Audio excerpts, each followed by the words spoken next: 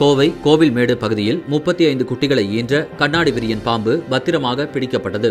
கோவை கோவில்மேடு திலகர் வீதி பகுதியில் மனோகரன் என்பவர் வசித்து வருகின்றார். இன்று காலை அவரது வீட்டின் குளியலறையில் பாம்பு ஒன்று பதுங்கி இருப்பதை கண்ட அவர் பாம்பு பிடிக்கும் முரளி என்பவரிடம் தகவல் அளித்துள்ளார்.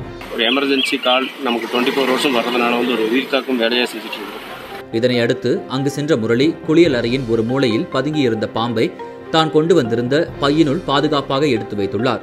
கண்ணாடி விரியல் அந்த பாம்பை வந்து காப்பாற்றி கொண்டு வந்து வச்சது வந்து குட்டி போட்டுருக்குங்க. பின்னர் அதனை வனப்பகுதிக்குள் விட இருந்தபோது பிடிபட்ட சுமார் ஒரு மணி நேரத்திற்கு பிறகு அந்த பாம்பு தொடர்ந்து குட்டிகளை ஈன்றெடுக்க துவங்கியது. இதனால் அதிர்ச்சியடைந்த முரளி அதே பகுதியில் ஒரு ஓரமாக அந்த பாம்பை வைத்துள்ளார். சுமார் இரண்டு மணி நேரத்திற்கும் மேலாக தொடர்ந்து குட்டிகளை ஈன்றெடுத்த பாம்பு சுமார் முப்பத்தி ஐந்து குட்டிகளை ஈன்றது. இது எல்லாத்தையும் கொண்டு காட்டில் கொண்டு ஃபாரஸ்ட் ஏரியாவில் கொண்டு போய் விடுறதுக்காக இது பண்ணிட்டு அதிக நச்சுத்தன்மை கொண்ட பாம்பு வகையான கண்ணாடி விரியன் பாம்பு குட்டி போடும் வகை என்பது குறிப்பிடத்தக்கது.